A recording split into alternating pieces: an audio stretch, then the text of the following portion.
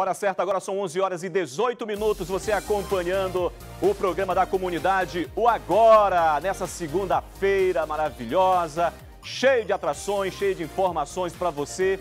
Olha, você ainda pode participar através do nosso WhatsApp. O telefone está aí na sua tela, que é o 99153 7959 para você mandar é, suas fotos da família, do final de semana, das festas que aconteceram, reunido com as famílias e também pode mandar denúncia. Pois é, mande sua denúncia, mande sua denúncia através do nosso WhatsApp, que a gente vai aí até a sua comunidade mostrar sua rua, seu bairro, infraestrutura, tudo isso, porque é o nosso programa voltado ao jornalismo comunitário. E ainda tem o Agora Premiado. Ainda no programa de hoje, vamos ter o Agora Premiado, porque o Josemar, o nosso organizador de mídias, está trazendo aqui, ó. Entra aqui, Josemar. Vem cá, rapaz. Deixa eu te ajeitar aqui. Fica aqui comigo, rapidinho. Tudo bem, Josemar? Tudo ótimo. Tudo certo? Esse cara aqui, ó, é ele que fica por trás do WhatsApp, ele que organiza tudo, ele que recebe as suas mensagens, as suas fotos. E Josimar? Tudo certinho mesmo?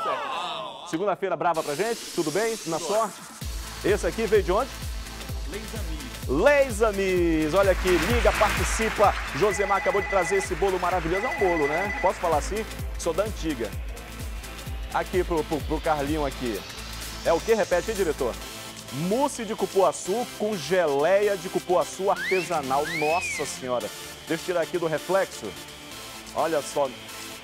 Você pode ligar, liga e participa agora pelo telefone 3307-3951 ou 3307-3952. Aquele alô especial para Cris. Alô, Cris e toda a sua equipe aí no Lesamir. Lesamir, li certo, né? Lesamir. Bom, mudando de assunto rapidinho, porque nós temos convidada aqui no programa de hoje com, uma, com um tema muito importante, né? Com um tema muito é, importante para você daí de casa, que vamos falar sobre o abandono de vulneráveis e outros temas também, né? A Márcia Elas Mais está recebendo aqui um uma convidada muito especial com você, Marcinha. Obrigada, Walter. Realmente ela é muito especial por causa da difícil missão que ela tem. São 11 horas e 20 minutos. Você que está acompanhando o programa da comunidade. Hoje a gente recebe aqui nos nossos estúdios a doutora Juliana Tuma, delegada titular da Delegacia Especializada em Proteção à Criança e ao Adolescente. E vai conversar conosco hoje, né, doutora Juliana, sobre essa difícil missão ser delegado, ser delegada, no caso, para ser bem específica com relação ao gênero aqui, não é fácil. Porque todos os dias você tem que matar um leão, prestar serviço à comunidade, prestar satisfações à comunidade, mas trabalhar com a violência, quando essa violência é contra a criança e ao adolescente, eu acho que é um pouquinho mais difícil. Né? Bom dia, tudo Bom bem? Bom dia, tudo bem, Márcia. Obrigada pelo convite. É, trabalhar com criança e adolescente, você tem que ter um olhar de muita percepção mesmo, né? O trabalho policial em si, por si, já, de, já requer um olhar muito atento. E o trabalho com criança e adolescente policial requer um olhar mais atento ainda. A gente convidou especialmente a doutora Juliana para estar hoje conosco aqui, é, devido às ocorrências que nós trouxemos, que toda a mídia trouxe no, na semana passada, e infelizmente nesse domingo agora, ontem, nós tivemos um outro caso. Você que acompanhou os noticiários da semana passada, viu aí que nós trouxemos a, o caso daquela menina de, de 4 anos, daquela criança de 4 anos, que foi resgatada pelo telhado, pelo, por policiais militares e que tinha ficado em casa durante todo o fim de semana um abandono que causou muita revolta, muita indignação, tanto aos vizinhos, você está acompanhando imagens agora aí do local, né? Tanto aos vizinhos, olha o momento do resgate da polícia militar, em que teve que entrar pela casa, na casa pelo telhado, encontrou a criança trancada dentro de um quarto. Ela já estava aí pelo menos há uns dois dias, não é isso, doutora Juliana? É, a suspeita de que seja dois dias aproximadamente, essa criança corria o risco de morrer se os vizinhos não tivessem ligado e acionado a polícia militar. Ela estava sem água, estava sem comida, né, estava toda suja e aí os policiais militares tiveram aí esse, essa, essa, esse, esse momento de inspiração, invadiram a casa, porque é óbvio que tinha uma pessoa em risco lá dentro e a polícia precisa fazer isso mesmo, e graças aí a denúncias dos vizinhos. E aí a gente começa aí o primeiro momento aí dessa minha conversa com a senhora nesse sentido. Quando é que os vizinhos têm que se meter, sim, quando houve briga, quando houve discussão, quando tem suspeita de que tem uma criança sendo ali violentada, tanto psicologicamente quanto fisicamente? É, os vizinhos têm que se meter sempre, mas isso sempre denunciando as autoridades competentes.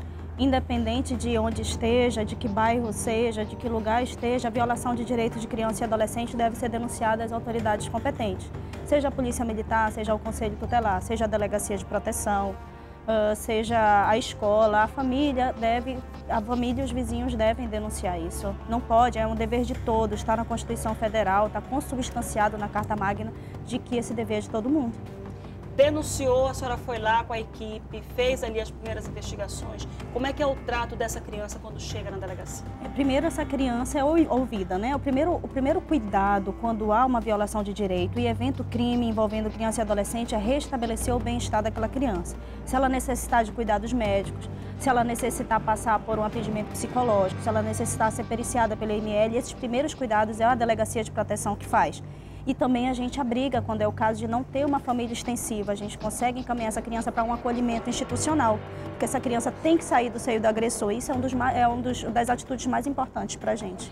Uma das coisas que o poder público sempre evita é tirar a criança né, dessa situação é, e de estar com a família. No caso dessa criança em especial, que nós mostramos as imagens agora há pouco, a problemática toda era mais grave. Por quê? Porque ela já tinha saído do poder da mãe, e estava em poder da avó. E a avó, repetindo ali a conduta da mãe, que era usuária de drogas e já tinha abandonado a criança, também acabou abandonando mais uma vez essa criança é, dentro de um quarto. Como é que o, a delegacia, junto com essas entidades, claro, beneficentes, que são maravilhosas para fazer, fazer esse atendimento, age nesses casos? É uma pena, porque no caso dessa criança não tem nenhum familiar para acudi-la. Ela já foi tirada da mãe, foi colocada na, em posse da avó e a avó também fez a mesma coisa. Como é que fica nesse caso? É, nesse caso, ela fica à disposição da Justiça Estadual para que perceba e identifique qual o melhor caminho para ela né, a justiça irá decidir quem ficará com a guarda dessa criança, se ela será encaminhada para adoção, se ela permanecerá no acolhimento institucional, se ela irá para uma família extensiva, porque o corte familiar é, em último caso, em respeito à criança, ao Estatuto da Criança e do Adolescente é, sempre se evita isso. Né? É isso que a doutora Juliana está querendo dizer aqui. Sempre se evita que essa criança saia do seio familiar, porque é muito traumático. Às vezes a gente pega uma criança como essa que você está acompanhando as imagens aí, aqui do nosso telão, e a gente diz assim para ela: você quer deixar a mamãe, quer deixar a vovó? Apesar da violência, apesar da agressividade, ela diz: não, eu não quero ir embora, eu quero ficar. A dependência emocional, né? A criança é. vitimizada, ela tem a dependência emocional com o agressor, ainda que ela esteja sendo maltratada, ainda que ela esteja sendo torturada ela tem aquela dependência emocional com o agressor e como a lei fala que a, a último, última medida é realmente o corte familiar. Tenta haver e reinserir essa criança, ela deve, ela tem que ser, ter esse trabalho.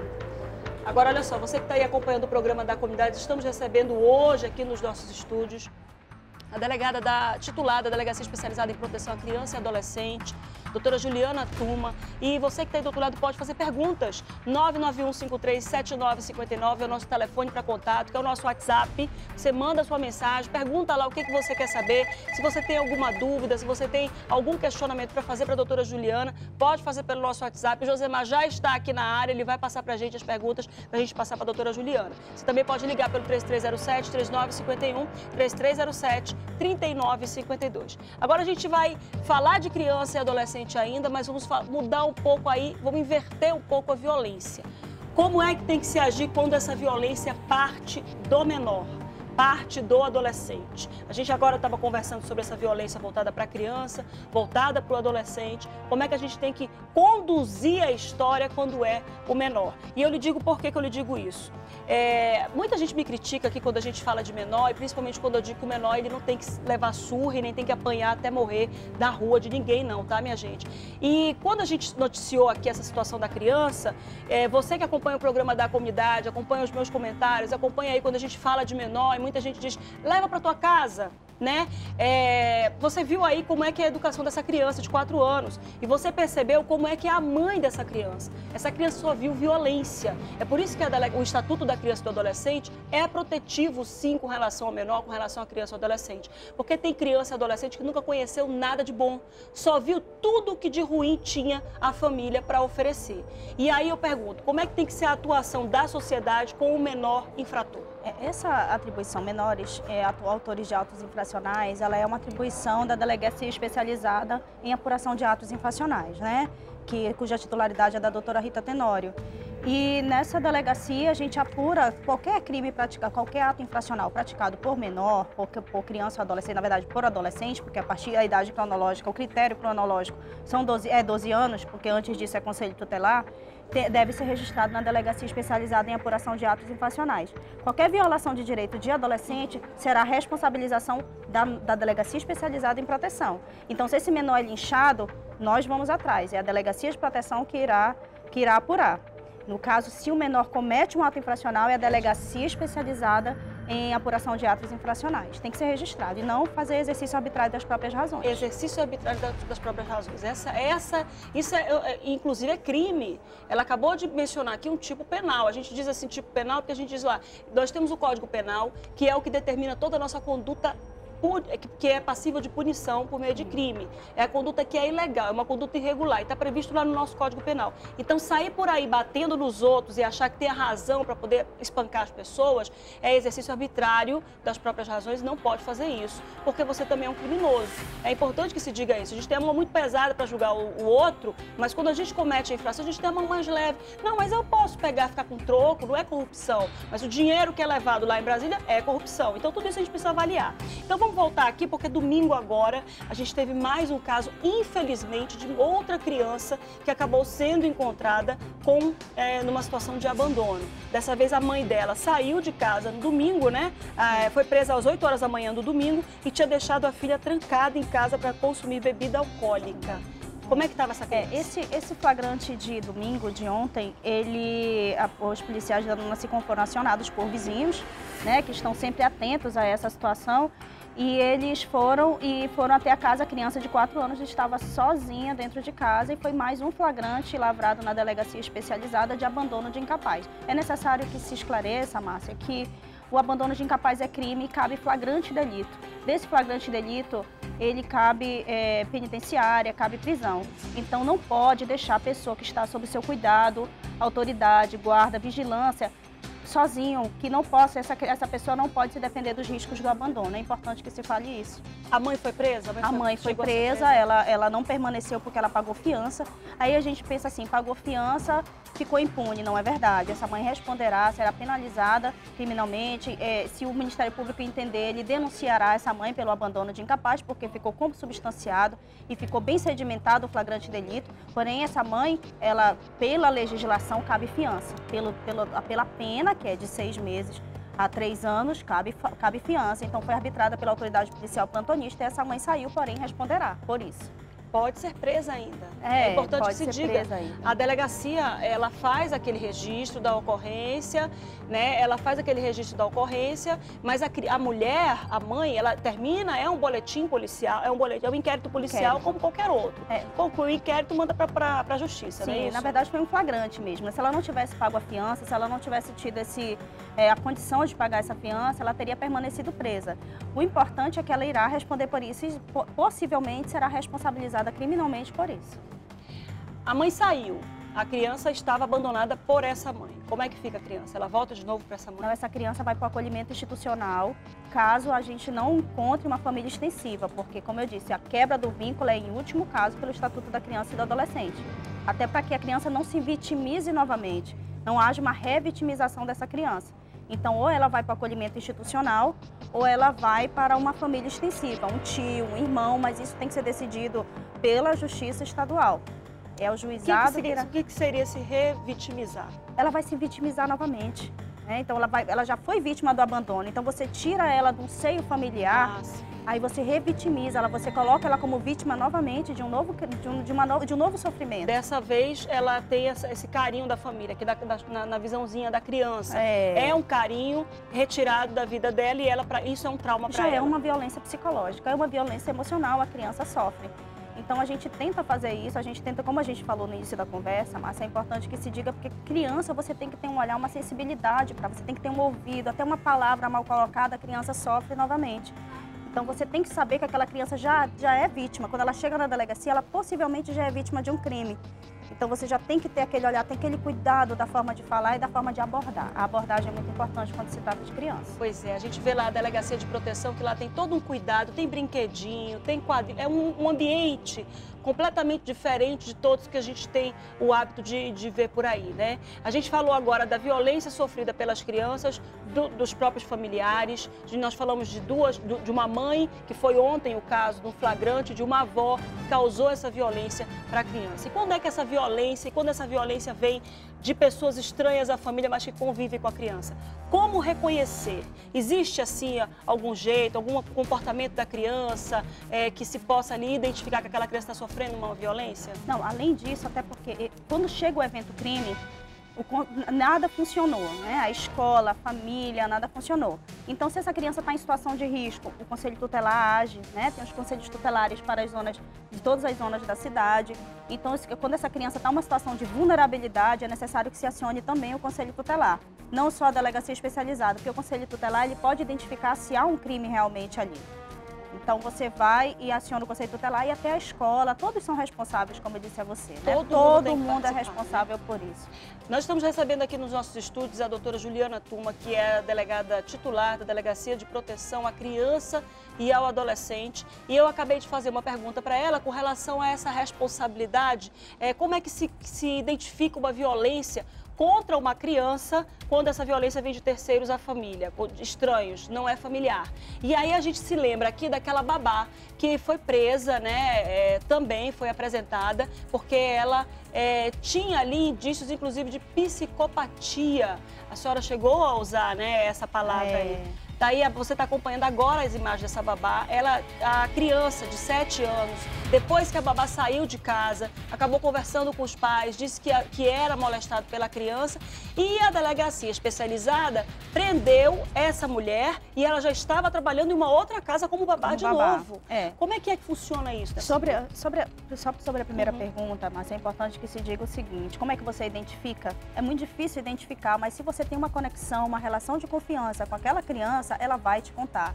Então, se você é um outro familiar, se você é um pai, uma mãe, uma professora, se você é uma amiga da família, você consegue identificar se ela tem relação de confiança e alterações de comportamento. Alterações de comportamento são indispensáveis de você identificar aquilo. Se você está atento ao seu filho, ao seu sobrinho, ao seu familiar, uhum. ao seu aluno, então você identifica e leva isso ao conhecimento das autoridades. No caso da babá, é, é, um pouco alheio à, à, padronização de que existe mais autoria masculina, isso é inegável a autoria masculina de crimes sexuais. Uhum. Então, é, como é que foi percebendo isso? A mãe percebeu uma alteração de comportamento, mas quando foi indagar, acabou sendo seduzida, porque acontece isso pelo autor. Né? O autor ele ganha confiança não só da criança, ele ganha confiança da mãe e do pai, ele, ele ganha confiança da mãe e do pai. Então, ela foi ganhando a confiança, então ela foi dispensada por um outro motivo de dentro da casa. E quando ela saiu, e depois que ela levou o nosso conhecimento, nós, nós começamos um trabalho de investigação. E essa criança passou pela psicóloga, a psicóloga imediatamente identificou resquícios de, de abuso de abuso de vitimização sexual. Então, daí a gente representou para a preventiva e conseguiu êxito no cumprimento do mandado. O que que os pais precisam? É, é importante essa pergunta. O Ivan está aqui me perguntando. É, o que, quais são os sinais? Tem algum, algum, alguma informação que o pai precisa ter? Como é que o pai lida com essa mulher? Como é que faz essa Não, situação? Primeiro, assim, criança, o que, que ela geralmente demonstra, né, para a parte da, da psicologia? Ela demonstra introspecção, isolamento, apatia, alterações de sono. A criança demonstra, ela, ela, ela fica às vezes até agressiva. Então, essa criança, se você percebe esse comportamento nela, alguma coisa está acontecendo. Às vezes, ela era uma criança expansiva, uma criança extrovertida. E hoje, ela começou a ficar introspectiva. Então, o pai vai e, e, e vai atrás disso e percebe que realmente está acontecendo alguma coisa. a criança ela sabe que aquilo é errado? Assim, a, a, a senhora está falando aí que a criança começa a ficar introspectiva, que é uma criança alegre, uma criança que brinca, uma criança que conversa, e do nada ela começa a ficar caladinha, já não dorme direito. É, isso acontece com a criança, porque a própria criança percebe que tem alguma coisa errada acontecendo com ela? A vítima do abuso sexual, Márcia, ela se sente muito culpada. Ela acha que aquilo ali é culpa dela, ela deu causa àquilo, ela sente muita vergonha então, como ela sente muita vergonha, porque ela sabe que aquilo ali, como o, autor geralmente diz, você não conte para ninguém. Então, aquela criança sente muita vergonha. Então, ela não vai relatar isso. Ela não vai relatar por medo, por vergonha e por se sentir culpada. Então, vai do pai ter a relação de confiança. E até mesmo, até como a gente tocou no assunto da babá, é importante que a gente aborde como escolher essa profissional. É difícil escolher a profissional, é difícil você ter uma relação de confiança com aquela profissional, de colocar dentro da sua casa e cuidar do seu filho. Hum mas é, é, são alguns cuidados básicos que podem evitar essas coisas. Certidão de antecedentes criminais, que é uma coisa muito fácil de tipo, se pegar pela internet, uh, checar na vizinhança aquele endereço que a, que a, que a, baba, que a candidata deu. Então, é, em loco, em loco, porque às vezes você vai no, no, Porque essa babá, por exemplo, ela tinha um, um histórico de uma, uma relação bem sucedida empregatícia. Então não teve promotivo nenhum da saída dela. Uhum. Só que o que uma que poderia ter sido feito isso, fazer uma, uma, um, uma averiguação em loco no endereço que ela deu. Por que, que eu falei de pedofilia? Por que, que eu falei de transtorno? Porque ela tinha resquícios de transtorno, porque ela, ela furtava brinquedo, ela gostava de estar no mundo infantil. Então tem, e é necessário que se esclareça que a pedofilia si não é crime, ela é um transtorno. É, mas só que ela se manifesta nos tipos penais, do estupro de vulnerável, do abuso sexual. Então, escolher a candidata, ver quem você deixa se aproximar do seu filho, isso é muito importante. Criança requer vigilância perene, vigilância constante. O tempo todo, não é só se ela está fazendo alguma coisa errada, não. É justamente verificar a conduta, o comportamento. É, é, o Ivan é, o Ivan é radical. Está dizendo aqui, por isso que eu sou radical, eu não contrato babá. Ele tem a neta, a neta filha dele, que tem quatro aninhos também em casa, né, a Marina, e ele tá, ele é assim, é, voraz com relação a isso. Acho que é por causa da nossa convivência, que a gente vê tanta coisa feia todos os dias, né? Que ele, ele doutrina conte pro vozinho, qualquer coisa, conta pro vozinho. É assim que tem que ser pai e mãe em casa também. É, nós temos uma participação do telespectador, não é muito a ver com o assunto da delegacia, mas é um assunto com relação à criança. A senhora, como antes de ser é, delegada, foi advogada, e esse telespectador quer fazer uma pergunta, eu acho que a gente consegue responder. São 11 horas e 40 minutos, tem telespectador na linha do programa da comunidade. Alô? Alô? Alô. Olá, bom muito bom dia. Pode fazer sua pergunta. É, doutora, é assim, ó. Eu, uma, eu crio uma criança desde três meses de idade. Hoje, ela está com três anos. Está com cinco meses que a mãe veio e pegou ela e não está deixando eu manter contato com ela mais. E essa criança, ela está passando por um psicológico muito grande na cabeça dela. Até porque ela é muito apegada na gente. Eu já dei entrada pelo fórum, mas só é, tá devagar, ainda não foi resolvido nada. E a criança, ela tá tipo assim, sendo presa em cárcere privado, por causa ela não está deixando a gente ter contato com a criança e nem está deixando a criança ter contato com a avó dela por parte de pai. O que, eu posso fazer? Eu não aguento mais essa, essa distância entre ela. Eu amo essa criança, tenho ela como minha filha. Assim como ela também me tem como mãe. Muito obrigada pela participação. É um dilema, é, né? É, ela vem com uma história difícil. É, é assim, Márcia. Ainda que eu, eu sou delegada agora, mas assim, já eu sou bacharel em Direito, né? Que é um requisito para o cargo. Então, assim, o que eu posso te responder da pergunta da telespectadora é que, ainda que haja um vínculo afetivo dela com essa criança, não houve uma regulamentação da adoção, uma regulamentação da guarda. Então, como ela fez, ela entrou, ela foi ao fórum, ela entrou com um pedido, essa criança será avaliada certamente por uma equipe multidisciplinar da Justiça para ver em que, em que família ela deve ficar e o juiz decidirá a guarda. É importante que se diga o seguinte, a lei prioriza o vínculo biológico. Isso aí é jurisprudencialmente majoritário.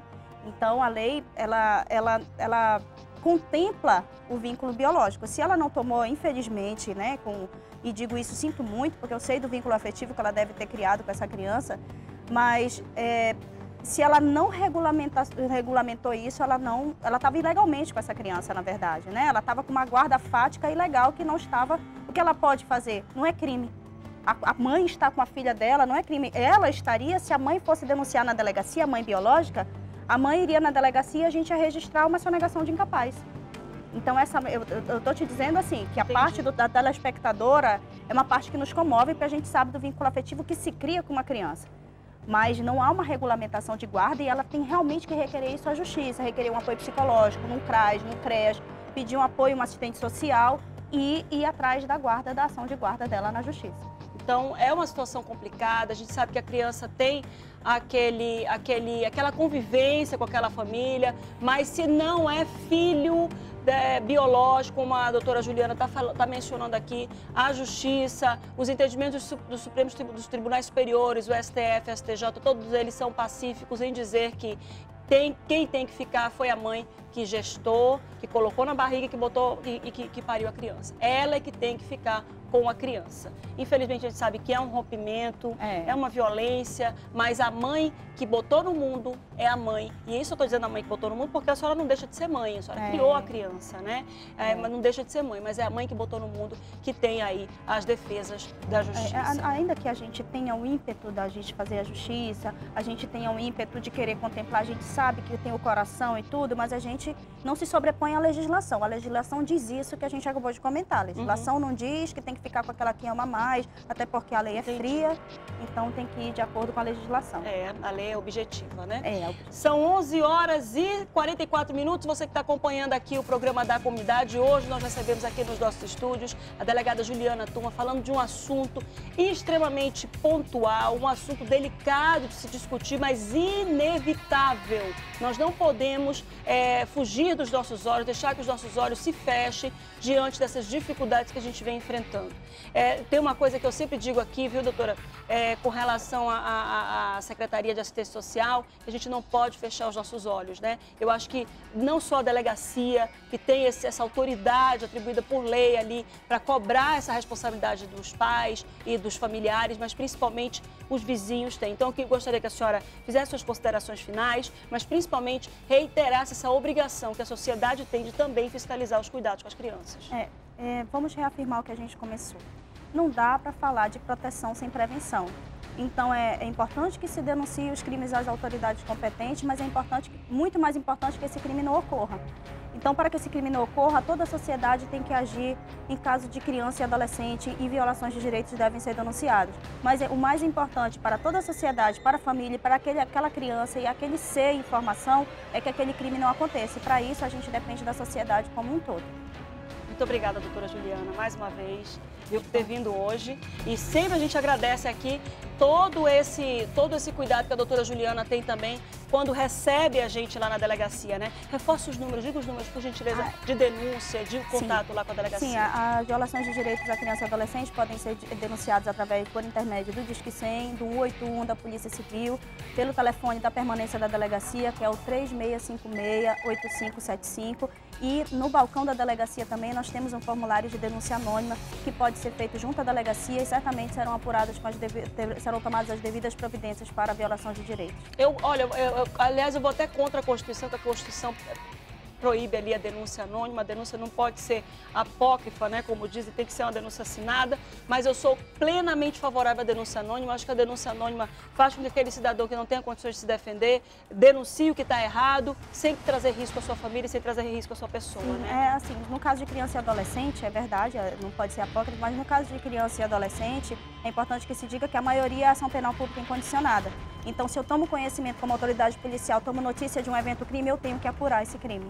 Não tem essa discricionariedade, não, não. vou fazer. Como acontece, por exemplo, no caso de estupro, né? Caso Sim. de estupro das mulheres, a gente encerra. Olha, você está conferindo aí rapidamente aqui os telefones 100 181 3656 8575 são os telefones de denúncia para você denunciar qualquer tipo de risco contra a criança e o adolescente. Mais uma vez, muito obrigada, doutora. Disponha, Márcia. Disponha sempre. Muito obrigada pelo convite novamente. Obrigada, doutora Juliana. Você que está acompanhando o programa da comunidade, são 11 horas e 47. Recebemos hoje aqui nos nossos estúdios a doutora Juliana Tuma, delegada da titular da Delegacia Especializada de, Especializada de Proteção à Criança e ao Adolescente e principalmente trazendo esclarecimentos com relação à nossa responsabilidade, a responsabilidade de todos da sociedade, não só da polícia. Não deixe que essa responsabilidade seja só dos investigadores, da Polícia Militar e da delegada da Delegacia Especializada. É um trabalho conjunto, não tem condições da delegada doutora Juliana Tuma, com a equipe dela, estar em cada uma das casas que tem criança. Então, nós somos olhos,